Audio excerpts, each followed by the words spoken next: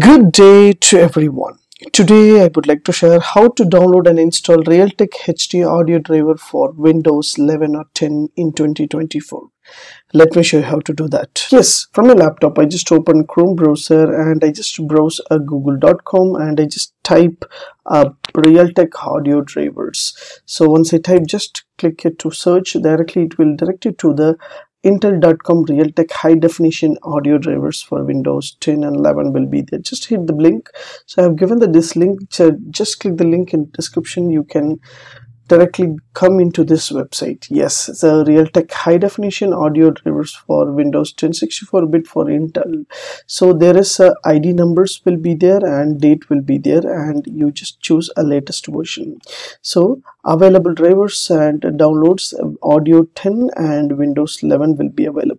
So totally 52 GB. Just click here uh, 52 MB.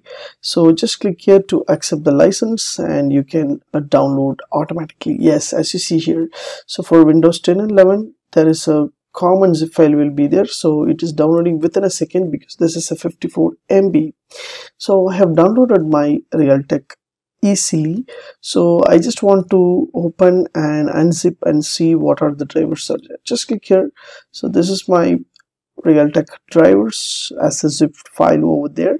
So I just want to check it out how the Realtek drivers will be there. So just copy this file. So because it's the downloaded zip file so I just want to uh, export or I just want to open and see the zip file.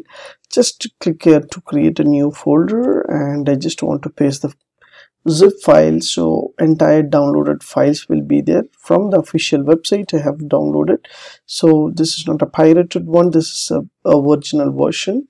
So from the official uh, site itself you can give. So just right click on the just extract all give so just click here to extract your files. Yeah. So within a second my files will be extracting here over here so that I can able to see what is the files are there so how to install the file so that it is easy to understand. So first and foremost you need to download the file from the official website and just create a new folder and extract the file. Simple way to see the output of the file. Yeah so I just downloaded the file I just extract the file. These are the files over there for the Realtek. So there will be a setup icons will be there. That is called for application. So once you double click on the setup automatically the setup will be running for your uh, real drivers. Yes. So installation will be begin. Just click it to give yes for your realtek drivers. Begins my system so i can able to create and update my new configuration of software. So this is a simple way you can install your drivers within your system limit. So if you like this tips please share with your friends and subscribe my HowXT channel. Thanks for watching dear friends. Have a great and good day